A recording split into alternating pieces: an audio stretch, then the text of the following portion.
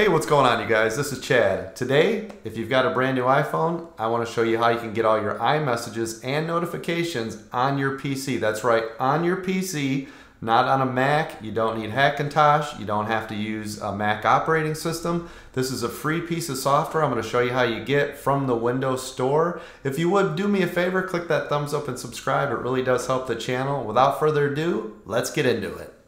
So the first thing you're going to want to do is head on over to this website, which is on the Microsoft Store on the web.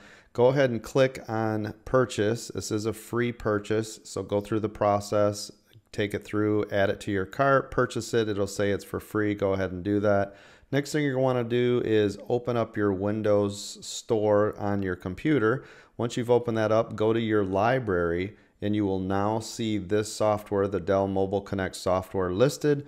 Go ahead and install that and run this quick setup. You can see here all you need to do is click get started and if you have an iPhone or an Android choose which one you're going to set that up with.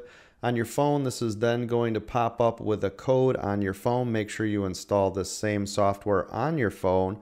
This is the Dell Mobile Connect. You can find it in your app store key in that phone encryption code. It's going to go ahead and sync up to your computer. Once it's synced up, go ahead and open up the settings on your phone. Tell it to enable those notifications just like you see here on the settings.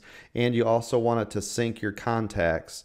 Now, once that is all taken care of, that's what's going to allow the notifications to pop up on your computer and have the access to it. So once that's done, it does show your device is connected. You can quickly check that by going into your system here. You can see if you scroll down into the Bluetooth settings that it should show your phone is now connected to your system.